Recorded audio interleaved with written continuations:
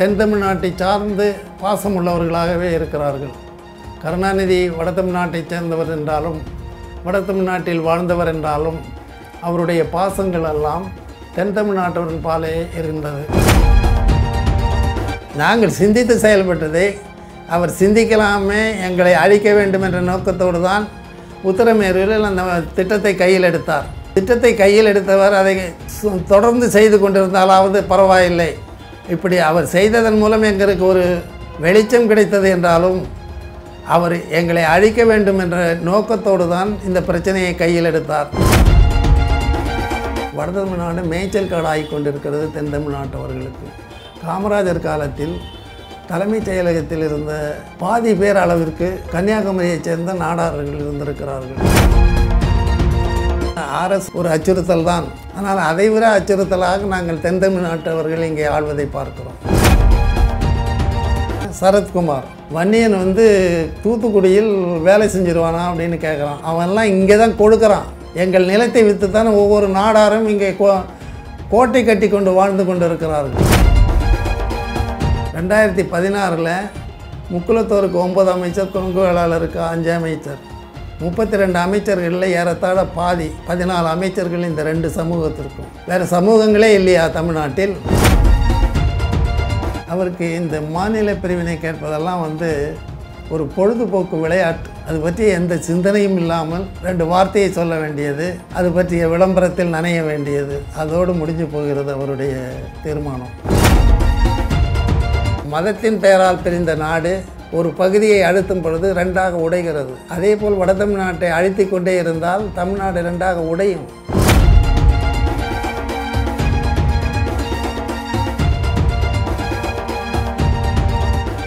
சமீபத்தில் பாமக நிறுவனர் ராமதாஸ் தமிழ்நாட்டை மூணாக பிரிக்கணும் அப்படின்னு ஒரு அறிக்கை வெளியிட்டிருந்தார். இரண்டாயிரத்தி ஆறுல இருந்து தமிழ்நாட்டை ரெண்டாக பிரிக்கணும் அப்படின்னு நீங்கள் பேசிக்கிட்டு இருக்கீங்க. தமிழ்நாட்டை முதல்ல ஏன் பிரிக்கணும்னு சொல்கிறீங்க தமிழ்நாட்டில் வட தமிழ்நாடு தொடர்ந்து வஞ்சிக்கப்படுகிறது அரசியல் ரீதியாக. உதாரணமாக வட தமிழ்நாட்டில் எம்ஜி ராமச்சந்திரன் ஆட்சிக்கு வந்த பிறகு வட தமிழ்நாட்டில் இரநூத்தி இருபத்தி நாலு அமைச்சர்கள் இருக்காங்க. தென் தமிழ்நாட்டில். வட தமிழ்நாட்டில் நூற்றி இருபத்தஞ்சி அமைச்சர்கள் தான். இப்போ ஒரு அமைச்சர்னால் எப்போதுமே அவருடைய அவர் சார்ந்த பகுதி அந்த பகுதிக்கு தன்னுடைய ஆட்களுக்கு செய்யணுங்கிற ஒரு எண்ணம் இருக்கும். அது தவறு கிடையாது. அப்போ ஒரு பகுதிக்கு நூ இரநூத்தி இருபத்தஞ்சி அமைச்சர்களும் இன்னொரு பகுதிக்கு நூற்றி இருபத்தஞ்சி அமைச்சர்களுங்கிறது வந்து வட தமிழ்நாட்டை தென் தமிழ்நாட்டவர்களின் மேய்ச்சல் காடாக்குகிறது தமிழக அரசியல். அதனால் அதை பிரிக்க வேண்டும் என்பது என்னுடைய முதல் நியாயம். அடுத்தது எல்லா முதல்வர்களும் பெரும்பாலும் தென் தமிழ்நாட்டை சார்ந்து பாசம் உள்ளவர்களாகவே இருக்கிறார்கள். கருணாநிதி வட தமிழ்நாட்டை சேர்ந்தவர் என்றாலும் வட தமிழ்நாட்டில் வாழ்ந்தவர் என்றாலும் அவருடைய பாசங்கள் எல்லாம் தென் தமிழ்நாட்டவரின் பாலே இருந்தது உதாரணமாக வட தமிழ்நாட்டை சார்ந்த வன்னியர்கள் வட தமிழ்நாட்டிலிருந்து அறுநூற்றி எழுபத்தஞ்சு எம்எல்ஏக்கள் திமுகவுக்கு கொடுக்கப்பட்டிருக்கிறது. தென் தமிழ்நாட்டிலிருந்து முந்நூற்றி எழுபத்தைந்து பேர்கள் மட்டுமே ஆனால் கருணாநிதியினுடைய பாசம் வன்னியர்களை தவிர வன்னியர்களை நினைத்து கொண்டு வட தமிழ்நாட்டை வஞ்சிக்கிறார் என்பதுதான். வன்னியர்களுக்கு முன்னேறிவிடக்கூடாது அது என்ன காரணம் என்பது எனக்கு தெரியாது. ஆனால் வன்னியரால் வாழ்வு பெற்ற ஒரு கட்சி வன்னியர் வன்னியரை நினைத்து கொண்டு வட தமிழ்நாட்டை வஞ்சித்ததை என்னால் ஏற்றுக்கொள்ள முடியவில்லை. எனவே அது பிரிக்கப்பட வேண்டும் என்பது. அடுத்தது இந்த குடிநீர் பிரச்சனை என்று வருகிற பொழுது தருமபுரி கிருஷ்ணகிரி பகுதியில் இருக்கிற குடிநீரில் உப்பு கலந்தது நீராக இருப்பதால் அது குடிக்கிறவர்களுக்கு முதுகு தண்டு வளைந்து போகிறது பற்கள் உதிந்து போகிறது என்றெல்லாம் உலக சுகாதார நிறுவனம் முதல் கொண்டு இந்திய சுகாதார அமைப்புகள் வரை ரிப்போர்ட் கொடுத்திருந்தோம். ஆயிரத்தி தொள்ளாயிரத்தி அறுபத்தி ஐந்தில் இடைத்தேர்தல் வந்த பொழுது கிருஷ்ணகிரி இடைத்தேர்தலின் போது பக்தவசலத்தால் உறுதியளிக்கப்பட்ட ஒகனேகல் கூட்டு குடிநீர் திட்டம். கருணாநிதி ஆட்சி காலத்திலும் கவனிக்கப்படவில்லை. எம்ஜி ராமச்சந்திரன் ஆட்சி காலத்திலும் கவனிக்கப்படவில்லை. ஆனால் கருணாநிதியினுடைய மூன்றாவது ஆட்சி காலத்தில் காவிரியிலிருந்து ராமநாதபுரம் வரையில் குடிநீர் திட்டத்துக்காக எண்ணூறு கோடி ரூபாயை ஒரே ஆண்டில் செலவழித்து குடிநீர் திட்டத்தை நிறைவேற்றுகிறார். அப்பொழுது நாங்கள் எழுதினோம் சுப தங்கவேலனுக்கு இருக்கிற மரியாதை வீரபாண்டியருக்கு இல்லையா? அப்படின்னு எழுதணும் அந்த கட்டுரையை எடுத்து வைத்து பதினைந்து கிராமத்துங்களைச் சேர்ந்தவர்கள் தொடர் உண்ணாவிரதம் இருந்ததன் காரணமாக வீரபாண்டிய ஆறுமுகம் வந்து நான் இதை பிரச்சனையை பார்த்து கொள்கிறேன் என்று சொன்ன பிறகு இந்த உண்ணாவிரதம் நிறுத்தப்பட்டது. அதற்கு பிறகு இரண்டு மூன்று ஆண்டுகள் கழித்து தான் அந்த குடிநீர் திட்டம் ஆரம்பிக்கப்பட்டது. முப்பத்தி ஐந்து ஆண்டுகள். குடிநீரிலே மோசமான குடிநீர் தமிழகத்தில் உள்ள பகுதி என்று சொல்லப்படுகிற கிருஷ்ணகிரி தருமபுரி பகுதிகளை விட்டுவிட்டு ராமநாதபுரத்திற்கு குடிநீர் கொடுப்பதில் கருணாநிதி கற்றிய அக்கறையை பார்க்கின்ற பொழுது கருணாநிதி வட தமிழ்நாட்டையும் வஞ்சித்து கொண்டிருக்கிறார் என்பது என்னுடைய இது அது மட்டுமில்லை காமராஜர் காலத்தில் கூட மாநில பிரிவினை வந்தபொழுது சித்தூர் பகுதிகளை எல்லாம் ஆந்திராவுக்கு கொடுப்பதற்கு தயங்கவே இல்லை. அதனால்தான் இன்றைக்கு பாலாற்று நீர் பிரச்சனையெல்லாம் நமக்கு வந்து கொண்டிருக்கிறது. அதேபோல் சித்தூர் பிரச்சனை இருக்கட்டும். பாலாற்று நதிநீர் பிரச்சனையாகட்டும் காமராஜர் கண்டுகொள்ளவே இல்லை. அவர் ஒரு வடதமிழ்நாட்டு எதிரியாகவே அவர் செயல்பட்டு கொண்டிருந்தார் என்பது என்னுடைய கருத்து. ஏனென்றால் அவர் காலத்தில் பாலாறு முழுவதுமாக வறண்ட பகுதியாக ஆக்கப்பட்டு விட்டது. கருணாநிதி காலத்திலும் அது ஒன்றும் தொடர்ந்து அது அது எந்தவித இதுவும் இல்லை. ஒரு உதாரணத்திற்கு சொல்லுகிறேன். ஆந்திர பகுதியில் முப்பத்தி மூணு கிலோமீட்டர் தூரம் ஓடுகிறது பாலாறு. அதில் முப்பத்தி ரெண்டு செக் டேம் போட்டு ஒரு செக் டேமிலிருந்து தண்ணி இன்னொரு செக் டேமை தொட்டுக்கொண்டு நிற்கிறது. ஆனால் இங்கே இரநூத்தி இருபது கிலோமீட்டர் தூரம் ஓடுகிறது. ஒரு செக் டேம் கூட கட்டவில்லை இவர்கள். கேட்டால் இவன் தமிழனுடைய ஆட்சி என்கிறார்கள். எனவே எந்த எந்த கோணத்தில் எடுத்துக்கொண்டாலும் இதுதான் நடந்தது. எல்லாம் கேட்பதற்கு தமிழகத்தில் நாதி இல்லை. எனவே வடதமிழ்நாடு தனியாக பிரிந்தால்தான் இந்த பிரச்சனைகளை எல்லாம் நாம் சமாளிக்க முடியும் என்பதால் தான் நாங்கள் வடதமிழ்நாடு கேட்க வேண்டும் என்ற முடிவுக்கு வந்தோம். வட தமிழ்நாட்டில் வளர்ச்சி இல்லாமை போன்ற நிர்வாக காரணத்திற்காகத்தான் தமிழ்நாட்டை பிரிக்கணும் அப்படின்னு நீங்கள் நினைக்கிறீங்களா? வடதமிழ்நாடு மேய்ச்சல் காடாகி கொண்டிருக்கிறது தென் தமிழ்நாட்டவர்களுக்கு காமராஜர் காலத்தில் தலைமைச் செயலகத்தில் இருந்த பாதி பேர் அளவிற்கு கன்னியாகுமரியைச் சேர்ந்த நாடார்கள் இருந்திருக்கிறார்கள். அவருடைய காலத்தில் இங்கே திட்டங்கள் இங்கே வந்ததே தவிர அந்த ஃபேக்ட்ரிகள் அதாவது என்ன, தொழிலகங்களிலெல்லாம் தென் மாநிலத்தவர்கள் தான் இங்கே ஆட்சி செலுத்தி கொண்டிருந்தார்கள். இப்போதும் அதுதான் நிலைமை. இங்கே ஃபேக்ட்ரிகள் இருக்கிறது வட தமிழ்நாடு முன்னேறி இருக்கிறது என்று சொன்னால் அந்த வட தமிழ்நாட்டில் ஃபேக்ட்ரிகள் வந்து முன்னேறி இருக்கிறது. ஆனால் அதில் வேலை செய்பவனெல்லாம் தென் தமிழ்நாட்டுக்காரர்கள். அப்படி இருக்கும் பொழுது எப்படி நாங்கள் தனி மாநிலம் கேட்காமல் இருக்க முடியும். எங் இந்த தென் தமிழ்நாட்டை ஆளுபவன் ஒரு தென் தமிழ்நாட்டுக்காரனாக இருக்கட்டும். வட தமிழ்நாட்டை ஆள்பவன் ஒரு வட தமிழ்நாட்டுக்காரனாக இருக்க வேண்டும் என்பது.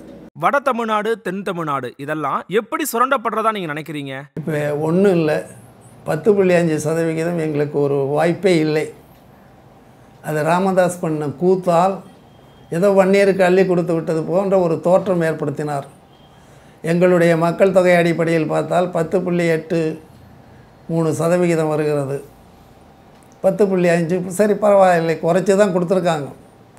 ஆனால் ஏழு சதவீதம் கொடுத்துருக்கிறார்களே சீர்மரபினரும் ஒரு இருபத்தி ரெண்டு சாதிகளையும் சேர்த்து அதனுடைய மக்கள் தொகை என்ன? அதனுடைய மக்கள் தொகை முப்பத்தைந்து லட்சம்.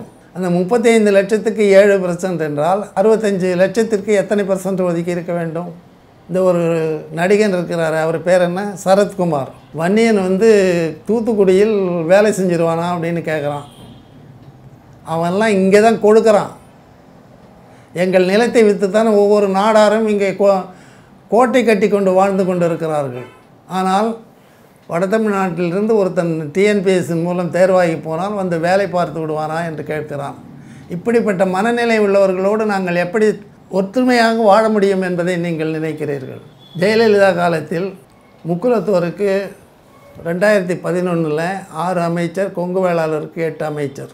ரெண்டாயிரத்தி பதினாறில் முக்குலத்தோருக்கு ஒன்பது அமைச்சர் கொங்கு வேளாளருக்கு அஞ்சு அமைச்சர். முப்பத்தி ரெண்டு அமைச்சர்களில் ஏறத்தாழ பாதி பதினாலு அமைச்சர்கள் இந்த ரெண்டு சமூகத்திற்கும். வேறு சமூகங்களே இல்லையா தமிழ்நாட்டில்?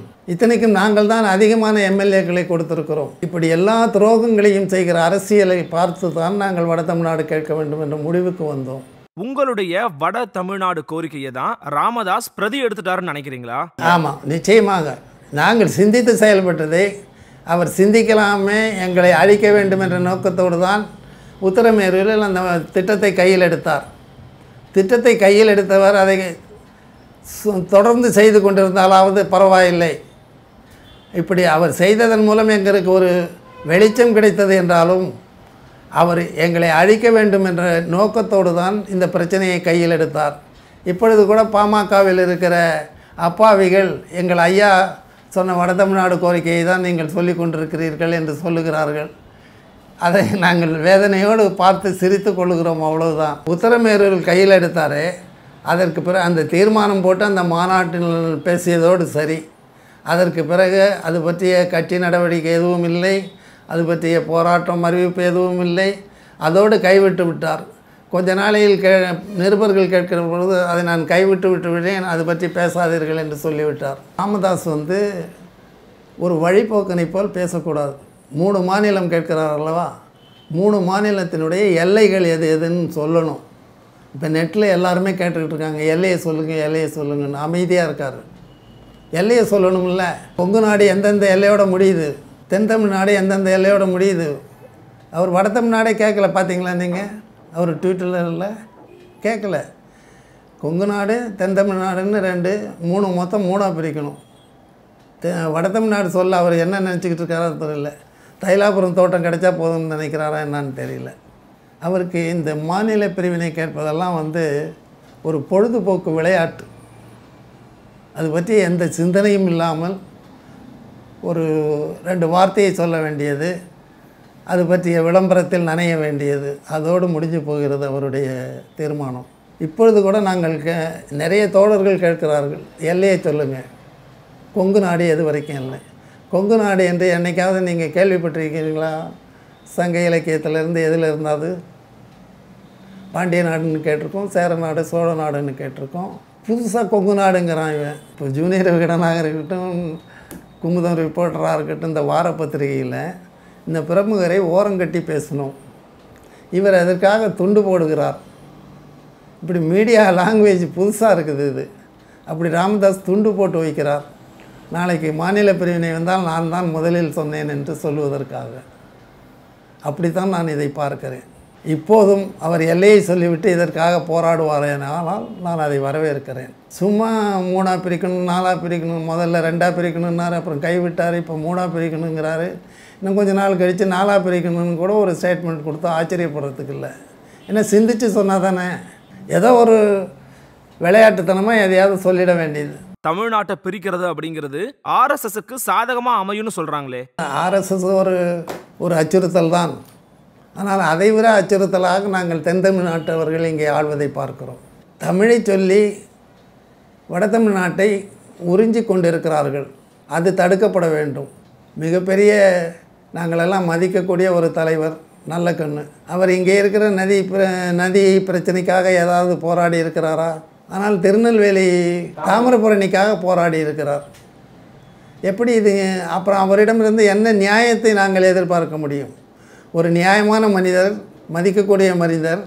இங்கே இருக்கிற இந்த நதி கொள்ளைகளை எல்லாம் ஒரு நாள் கூட அவர் கண்டித்து நான் கேட்டதில்லை. ஆனால் இங்கிருந்து தாமிரபரணிக்காக அவர் போராடுகிறார். இப்படித்தான் ஒவ்வொருவருடைய மனநிலையும் இருக்கிறது. எம்ஜி ராமச்சந்திரனுக்கு என்ன காரணமோ தெரியவில்லை. ஆண்டிப்பட்டி ஆண்டிப்பட்டி தானே அவர் முதல்ல போட்டியிட்ட தொகுதி. அதிலிருந்து அவர் அந்த பகுதிக்கு மட்டுமே அமைச்சராக இருந்திருக்கிறார். அவர் காலத்தில் மொத்தம் ஐம்பது அமைச்சர்கள் மூன்று பீரியடிலும் அதில் இருபது அமைச்சர்கள் தென் தமிழ் வட தமிழ்நாட்டில் ஐம்பது அமைச்சர்கள் தென் தமிழ்நாட்டில் இருந்து எப்படி நாங்கள் முன்னேறுவது? இங்கே இருக்கிற மக்கள் எப்படி வாழ்வது? தற்போதைய சூழல்ல வட தமிழ்நாடு அப்படிங்கிற கோரிக்கை சாத்தியமாகும் நம்புறீங்களா? ராமதாஸ் வந்து இந்த இடஒதுக்கீட்டுக்காக சாலை மறியல் போராட்டத்தை நடத்தியதை விட வட தமிழ்நாட்டு கோரிக்கைக்காக இப்படி ஒரு போராட்டத்தை நடத்தியிருந்தால் வட தமிழ்நாடு நிச்சயமாக சாத்தியமாக இருக்கும் பஞ்சாப்லேருந்து ஹரியானா எப்படி பிரிஞ்சது? ஹரியானாவிலேருந்து இமாச்சல் பிரதேஷ் ஏன் பிரிஞ்சது? ஜாட் சமூகத்துக்காக ஒரு மாநிலம் தானே ஹரியானா மாநிலம்? ஜாட் சமூகத்திலேருந்து தங்களுக்கு போதிய நீதி கிடைக்கலங்கிறது தானே இது? ஹிமாச்சல் பிரதேசம் அதாவது மொழி வழியாக இருந்தாலும் சரி மத ரீதியாக இருந்தாலும் சரி ஒரு சமுதாய ஒரு பகுதி மக்கள் அழுத்தப்படுகிறார்கள் என்றால் நாடும் பிரியும் மாநிலமும் பிரியும். முஸ்லீம் மதத்தின் அடிப்படையில் தானே பாகிஸ்தான் பிரிஞ்சுது? பங்களாதேஷ் ஏன் பிரிஞ்சுது? மேற்கு பாகிஸ்தான் முஸ்லீம்கள் கிழக்கு பாகிஸ்தான் முஸ்லீம்களை ரெண்டாம் தர குடிமக்களாக நடத்தினான். அடுத்தது கிழக்கு பாகிஸ்தான் முஸ்லீம்களுக்கு வந்து வங்காள மொழி பற்று அதிகம்.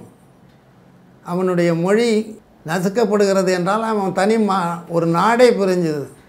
மொழி ஒரு மதத்தின் பெயரால் பிரிந்த நாடு. ஒரு பகுதியை அழுத்தும் பொழுது ரெண்டாக உடைகிறது. அதேபோல் வட தமிழ்நாட்டை அழுத்தி கொண்டே இருந்தால் தமிழ்நாடு ரெண்டாக உடையும். நான் இல்லை நான் விதை தான் ஊன்றுறேன் நன்றி.